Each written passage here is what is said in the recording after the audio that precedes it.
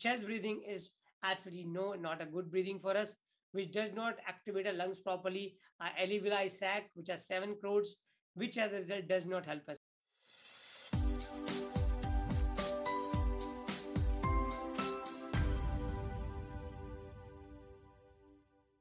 So there are three types of breathing.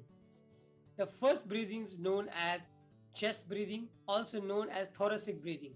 The breathing which we do from the chest, and this is shallow breathing. Second type of breathing is called belly breathing or child breathing. When your tummy comes out, only the tummy comes out.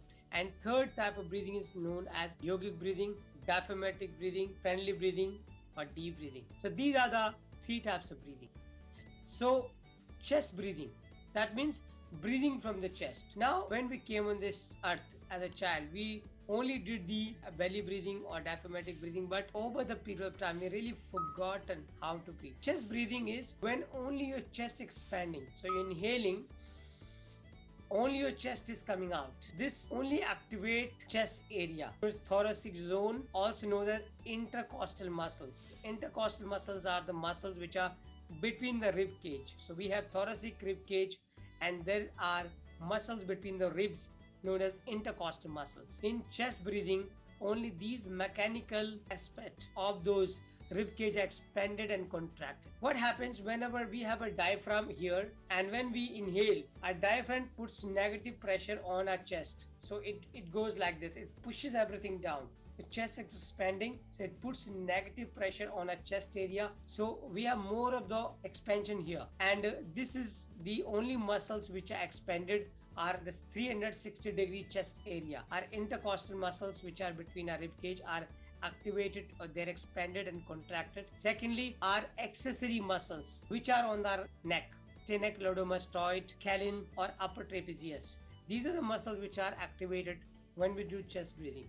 Now, chest breathing, it leads to us by activating the sympathetic nervous system. Sympathetic nervous system means whenever we are in any stressful situation, in tension, in anxiety, that's when we activate sympathetic nervous system, which is generally happens in a fight and flight response. There's a snake in front of me, what I'm going to do, I will try to either fight, beat it, or I'll try to flight, run away. In both the situation, I need more oxygen and it's not there. So i just have to i do hopping and popping. Or even if a dog is behind me. So these are the things which happens called sympathetic nervous system when uh, your mind is in a stressful situation. Create a lot of pressure a lot of stress here.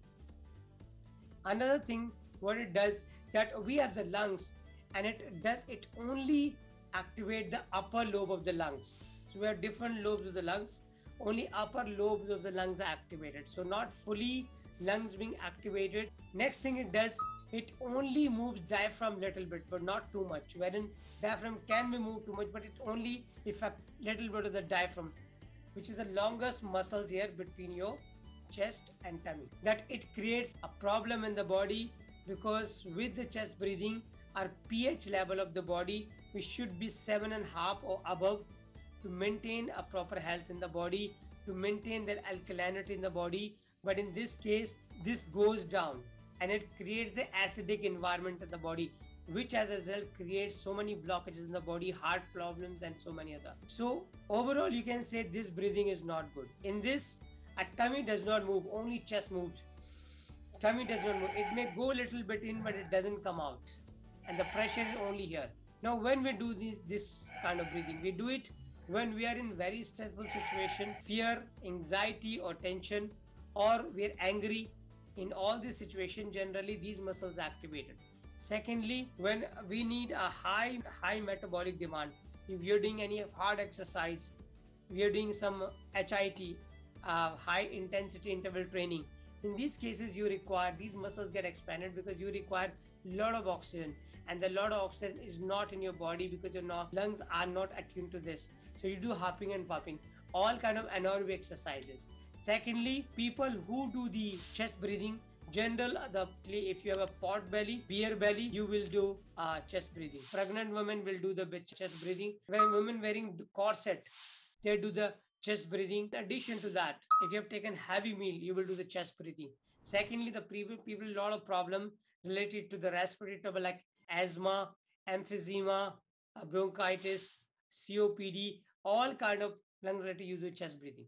The chest breathing is absolutely no, not a good breathing for us, which does not activate our lungs properly. Our alveoli sac, which are seven crores, which as a result does not help us. So that is the chest breathing. So let's look at the demonstration